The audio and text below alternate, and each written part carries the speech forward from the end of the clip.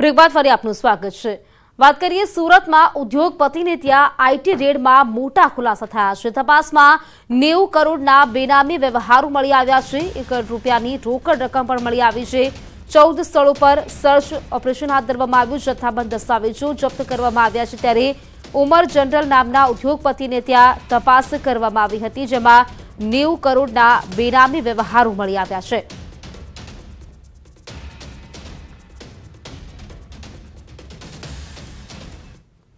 સુરતમાં જીએસટી કૌભાંડનો પર્દાફાશ થયો. છે બે હજાર સાતસો ત્રેસઠ કરોડના બોગસ બિલ રજૂ કરી ટેક્સ ચોરી કરવામાં આવી. તપાસમાં કુલ ત્યાસી કરોડની ટેક્સ ચોરી બહાર આવી છે. પંચોતેર પેઢીઓના એકસો બાર સ્થળો પર જીએસટી દ્વારા દરોડા પાડવામાં આવ્યા હતા. એકસઠ પેઢી બોગસ નીકળી છે જેમાં સાથે ચૌદ પેઢી પર તપાસ યથાવત છે. આ તપાસમાં દસ બેંકના ખાતા પણ ટાંચમાં લેવાયા છે. જીએસટી વિભાગે ચાર કરોડની જીએસટી બ્લોક કરી છે.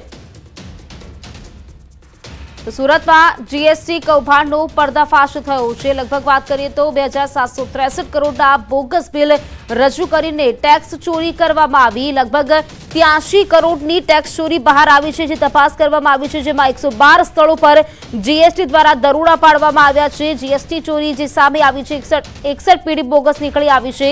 જાણકારી મેળવીશું સંવાદદાતા કીર્તેશ પટેલ અમારી સાથે જોડાયા ગયા છે. તેમની પાસે જાણકારી મેળવીએ.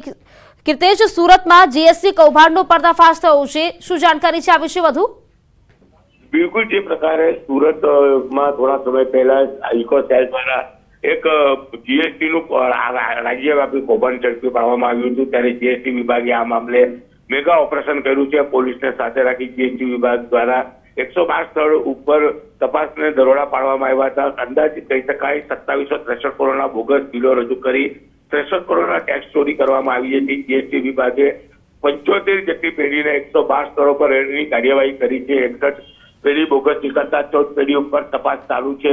જીએસટી વિભાગે આ મામલે દસ બેંક ખાતાના ટાંચમાં લેવામાં આવ્યા છે. અંદાજિત ચાર પોઈન્ટ આડત્રીસ કરોડનો જીએસટી પેમેન્ટ બ્લોક કર્યા છે. એટલે કહી શકાય, કરોડો રૂપિયાની જીએસટી ચોરી કરી સરકારને જે ચૂનો લગાડવાનો પ્રયાસ કરતા હતા, તેમાં જીએસટી વિભાગને સફળતા મળી છે. અને આખું રાજ્યવ્યાપી કૌભાંડ છે તે સુરતના ઇકો દ્વારા પકડી પાડવામાં આવ્યું હતું અને આ ત્યારબાદ રાજ્યવ્યાપી દરોડા પાડ્યા હતા અને ત્યાં એ જ દરોડામાં સુરતના અનેક વ્યક્તિઓના નામ સામે આવતા જીએસટી વિભાગ દ્વારા સંયુક્ત ઓપરેશન હાથ ધરી મોટું કૌભાંડ બહાર કાઢવામાં આવ્યું છે.